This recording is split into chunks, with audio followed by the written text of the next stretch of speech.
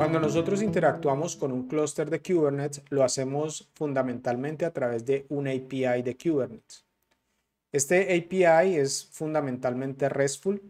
Con este API nosotros podemos crear, leer, actualizar y borrar recursos.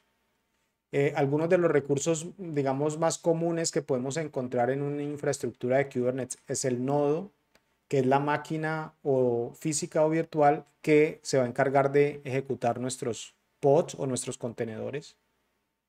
Un pod, es muy importante tener en cuenta esto, un pod es la unidad básica de ejecución de un clúster de Kubernetes.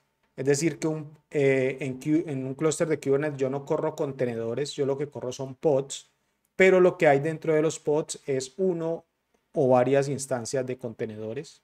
Otro servicio típico que encontramos dentro de los entornos de Kubernetes es el service, que es el que nos permite poder acceder a través de la red a la funcionalidad ofrecida por un pod.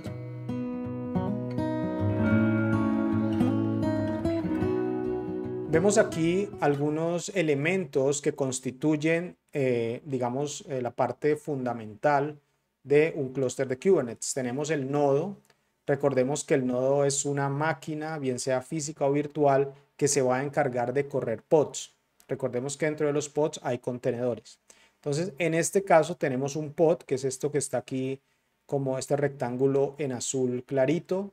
Dentro de este pod en particular tenemos dos contenedores. Tenemos un contenedor que llama Logger y tenemos otro contenedor que se llama Nginx. Entonces observen que en este pod hay dos contenedores. Yo puedo tener varias copias de un mismo contenedor, es decir, yo podría tener aquí varios contenedores de Nginx o varios contenedores de Logger. En este caso tenemos eh, mezclado un contenedor de Logger y otro de Nginx. Y otro aspecto importante es que hay un IP para el pod. No hay un IP para el contenedor, sino que hay un IP para el pod. Entonces, si yo quiero entrar a un contenedor o acceder a un contenedor, yo necesito dar el IP del pod y el puerto de red donde está corriendo alguno de estos contenedores que forma parte del pod.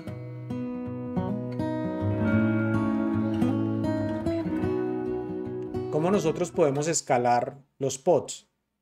Entonces, una forma de escalar los pods es crear pods adicionales, es decir, decirle a, a Kubernetes, por favor, créeme otro pod cada pod puede quedar en un diferente nodo físico. Nada me garantiza que si yo lanzo, por ejemplo, dos pods, esos dos pods corran en el mismo nodo. Puede suceder que un pod corra en un nodo X y el otro pod corra en el nodo Y. Y cada pod va a tener su propio IP. Algo que no es posible es adicionar contenedores eh, dentro de un pod. Cada vez que yo lance un pod con un número de contenedores, ese pod va a quedar con ese número de contenedores. Yo no puedo decirle, por favor, dentro de este pod adicione o ejecute más contenedores. No es posible. Al momento de crear el pod, yo indico cuáles son los contenedores que van a estar dentro de ese pod.